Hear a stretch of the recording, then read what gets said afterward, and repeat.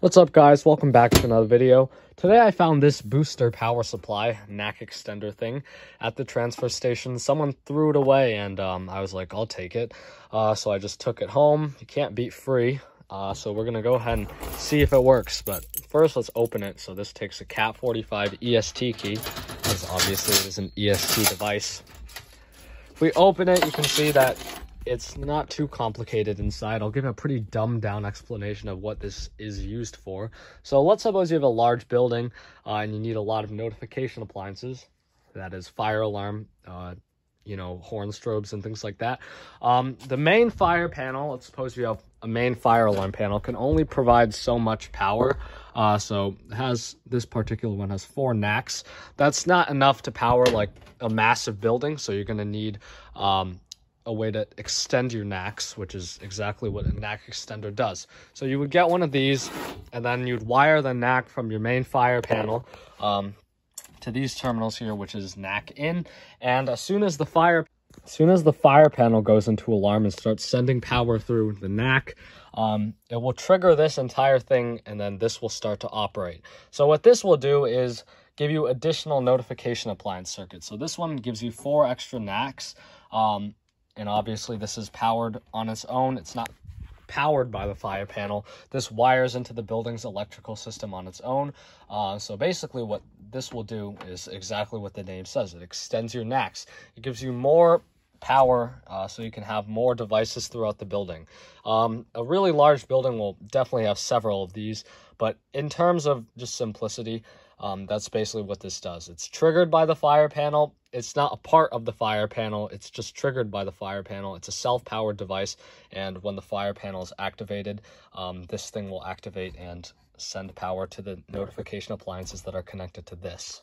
I'm not going to connect this to a panel right now or my building's electrical system. So what I just did is I hooked this up to a regular three-prong cord and then I'm going to wire a few simple things up to this. I've gone ahead and just wired it up very simply. I'll go ahead and just briefly explain what I did. So obviously for mains power, this is usually going to wire into um, your building's electrical. It's powered by 120 volts. What I did is I just wired that to a cord and it's plugged into a wall outlet. Um, so for my fire panel trigger, this usually would be connected to your notification appliance circuit. So when the fire panel activates and, you know, sends power through um, the alarm circuit, this will activate. However, what I did is I just hooked a 24 volt transformer on a switch. Um, so when I flip this switch, that will simulate a panel going into alarm and then sending 24 volts through the trigger.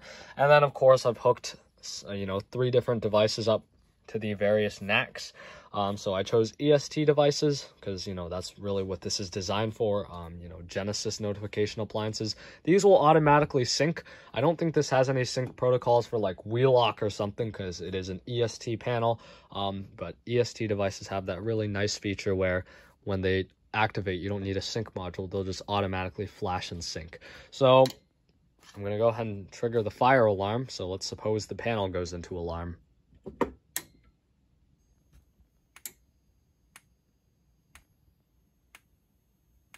kind of hard to see.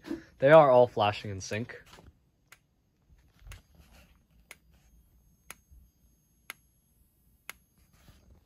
But basically that's what that would do.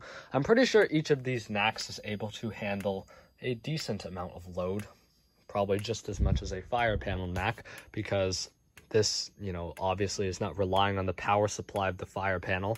Go ahead and silence the panel. So when you silence the fire alarm panel, then this will automatically stop. You don't have to reset this or anything. It's basically just a triggerable 24 volt power supply. And of course, it's to do its own thing. But the fire panel has its own power supply.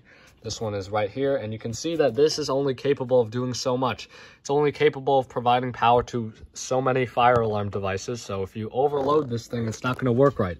Um, there are formulas and things like that that you can use, um, but basically, since this has its own power supply and transformer and things like that, and it's wired to the building power on its own, this can provide power for, you know, a number of different devices uh, without hampering the effectiveness of your main fire panel. Hopefully that is a somewhat okay explanation of how a fire alarm booster panel works.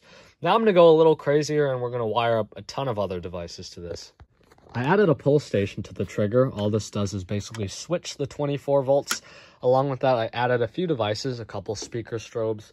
Um, you know, perhaps you could have a partially uh, speaker strobed building. Obviously, this won't control the speakers, um, but it'll provide power for the strobes. So let's go ahead and pull it. This is going to be loud. These should all sync.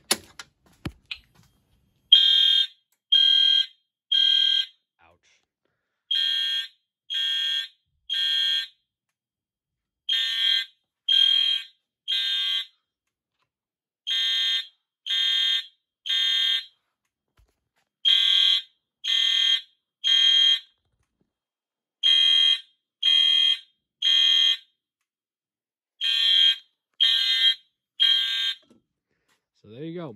They do all sync. It's really cool. Um, basically, that's what a booster panel does. A few other things. You're technically supposed to actually have a resistor on the ends of these NACs, um, just like any other NAC, so that way this is supervised. If you don't have a resistor, I don't have a resistor, as you can see, there's going to be a trouble. Obviously, if there's a trouble, um, that will cause the main panel to go into trouble because you're supposed to uh, wire the relay that way. There's a trouble relay here. There's some other relay. I'm not sure what that is, but you definitely have a trouble relay here. So you would wire this in a way that when this trouble relay clicks, the fire panel goes into trouble. So that way you know that something's wrong with this booster panel. Um, you also would have a battery here, which obviously makes sense because the main fire panel has a battery, um, this should also have a battery. So that way, in the event of a power failure, this still provides power for the notification appliances. Um, not really sure if there's a whole lot else to say. There's some dip switches here for our various selections. You can see it's a bunch of stuff here. These are the trouble lights. So you can see there's ground. So there's a ground fault trouble, then that's bad. There's NAC 1, 2, 3, 4. These are trouble lights for the various NACs. I have all four of them on, as well as a battery trouble, because there's obviously no battery. Um, but that's all right. Who cares? This is just a demonstration. But yeah, hopefully you guys learned something.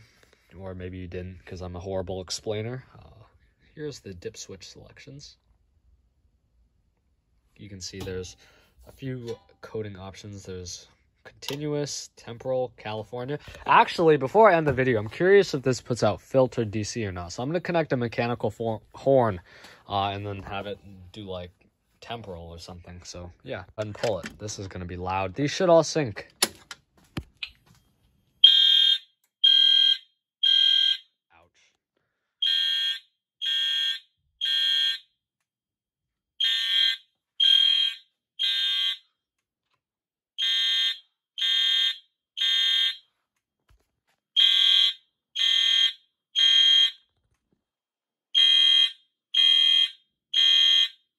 All right, I don't know what this is gonna do. Hopefully nothing blows up, but let's see.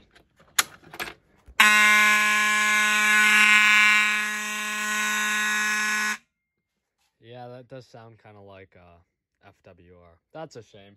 So this definitely can't be used to power anything um, like a mechanical horn. Well, it could be technically from a code compliance standpoint, but it would just sound horrific. Um, I know some people say that you can damage your stuff by doing that. I'm not entirely sure if that's true. Um, I wouldn't be surprised if it was true because I have a ton of stuff that is sort of raspy. Um, I'm supposing they were used on systems with FWR uh, power instead of filtered DC, which could be why, or they're just like that, but who knows? Well, we'll see. That is awful. Well, that's that. Thank you for watching this video. Please like, comment, subscribe. Um, yeah, hopefully you did learn something like I said. That's that. I'm not even sure if this thing has ever been used. None of the knockouts are punched out, so there's no way someone could have installed this in a building without punching out knockouts. Um, so I guess this is just old stock and someone didn't want it, so they just left it at the um, transfer station. I was like, I'll take it. Not sure what these are for. I think there's modules that could go there. Interesting. Well, that's that. Have a good day.